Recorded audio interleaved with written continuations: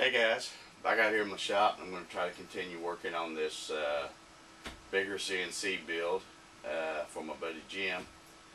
Uh, haven't been out here a whole lot uh, lately, if you can tell from my voice. I've had got another cold. I don't know what the deal is this year. I've had so many colds, but uh, anyway, got out here a little bit this weekend and uh, tried to get these rails fixed and everything. Got this all the Z-axis plate moving nice and slow. Got the Z-axis somewhat put together. Today I'm going to try to work on getting the rails cut and get those mounted. Uh, I do have my router mount made.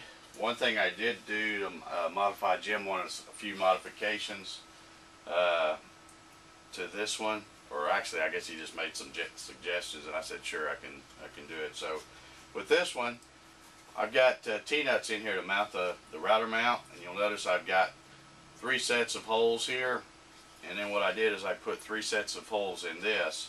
So he can mount this you know he can match all three of them up and have it sitting like that or he could match just two of them up put it down here lower or if he's doing something thicker and needs the height the added height he can actually put it up here and get it a little higher. So he's got uh, really about three different choices there of how he wants to uh, set his router height on there. So that was just one of the one of the extra little features I did for him.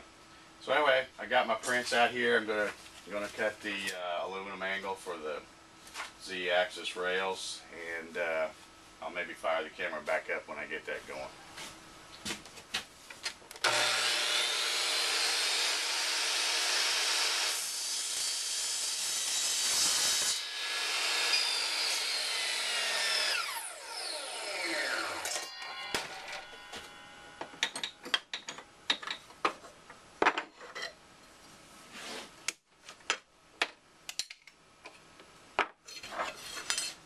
Okay, I got both the um, Z-axis angles cut, and I probably mentioned this before in one of the other videos, uh, but I'll go ahead and tell you again. Uh, you can cut this real easy with uh, your miter saw if you have one. Uh, if you got a carbide tip blade on there, which I think most of them are these days, uh, it'll go through this soft aluminum really easy, and you get a nice, nice square cut, and it'll make leave just a little bit of a, you know, slight burr. You just take a little, little file here file that off and it's nice and smooth, so no problem. Another thing I want to point out about these angles is you got to remember, and again, I think I mentioned this in my other video, but when you're putting, uh, drilling the holes for these angles, you got to make sure to drill one one way and then one the opposite because there are a right and a left. So make sure you don't, uh, you know, set up your drill press and drill both of them and have them both the same way. That won't work. Okay, I managed to uh, get the rails put on the Z-axis here. Got the motor mount, or router mount I should say, on here. Got the bearing mount, all the, the motor mount for up here. All this ready to go. So, I guess probably the next step is uh, taking a trip to Lowe's and get some two for us to make the frame and go ahead and uh, start making a frame for this because that's about all I lack. Still need to cut a few other little parts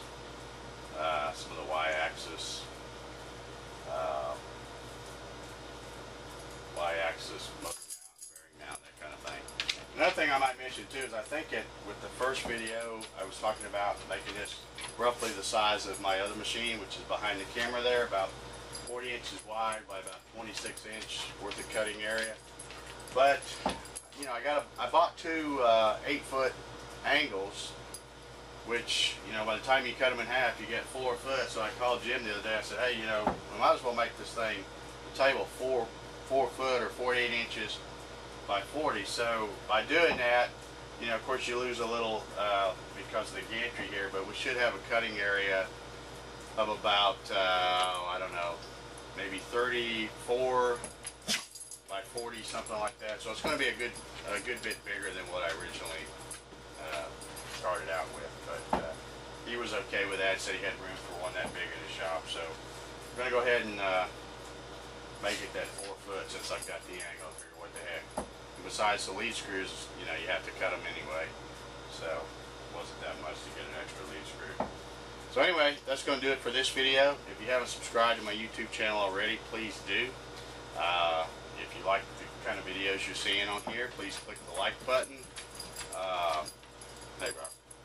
Uh, as always, uh, you know, check out my website. I always have lots of free plans and stuff on there.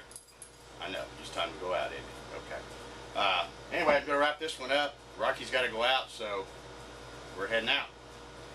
Thanks for watching. We'll talk to you later.